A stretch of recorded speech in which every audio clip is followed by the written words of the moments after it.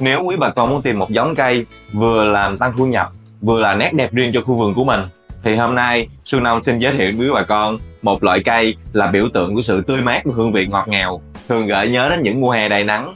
Đây cũng là loại cây gắn liền với hình ảnh gia đình Việt.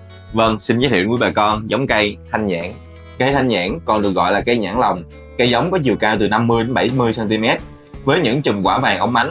Cây không chỉ mang lại sự thú vị cho người thưởng thức mà còn là nguồn cảm hứng cho nhiều món ăn truyền thống. Đây là loại cây dễ trồng, bà con có thể trồng ở nhiều loại đất từ vùng nước ngọt quanh năm, nhưng loại đất thích hợp nhất trồng cho cây là đất cát, đất pha cát, đất cồn, đất phù sa. pH dành cho cây là từ 6 đến 7 là được. Nên tưới nước đều đặn cho cây, đặc biệt là vào mùa khô, nhưng bà con đừng tưới nhiều quá để tránh tình trạng cây bị ngập úng. Bón phân cho cây là từ 3 lần đến 4 lần trên một năm, đặc biệt là vào thời gian cây sinh trưởng và ra hoa. Nên cắt tỉa cành thường xuyên cho cây, những cành khô héo, những cành bị bệnh để cây có thể là sinh trưởng và đón ánh nắng tốt hơn. Nếu có đủ lượng nước tưới thì nên trồng cây vào cuối mùa mưa tầm tháng 10 đến tháng 11 vì khi đến mùa nắng có đầy đủ ánh sáng giúp cây có thể là sinh trưởng tốt hơn. Nếu trồng vào mùa mưa tầm khoảng tháng 4 tháng 5 thì nên chú ý lượng nước để tránh tình trạng cây có thể là bị ngập úng và bị nghẹt rễ.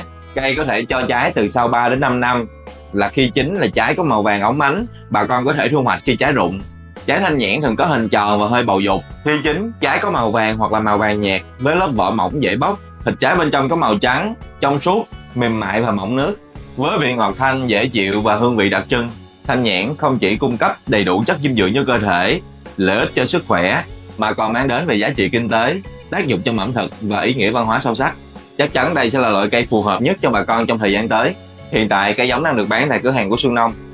Xin cảm ơn bà con đã theo dõi cùng Xuân Nông.